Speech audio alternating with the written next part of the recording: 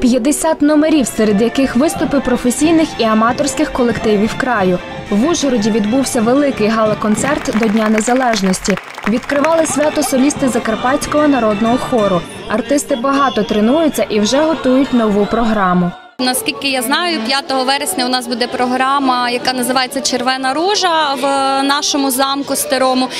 Наприклад, її ми готували біля трьох місяців, працювали над нею, а зараз вже просто їздимо і її показуємо. Дуже гарна програма. На гала-концерт до Ужгорода приїхали й артисти-початківці. Вони ретельно готували свої виступи, щоб у майбутньому також мати право відкривати дійство.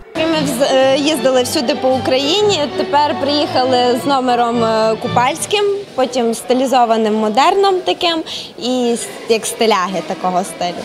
На святковий гала-концерт завітали тільки найкращі вокальні й танцювальні колективи Закарпаття. Таким чином, на думку організаторів, краєві артисти мають поштовх до розвитку. На протязі року кожен е, колектив, е, аматорський чи професійний, працює над е, собою, над продуктом.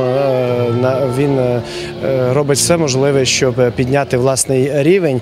І саме подібний захід є певним екзаменом для нього. На свято до Закарпаття приїхали й угорці. Спеціальним гостем гала-концерту став фольклорний колектив із Дебрицина, який представив публіці народні танці країни сусіда.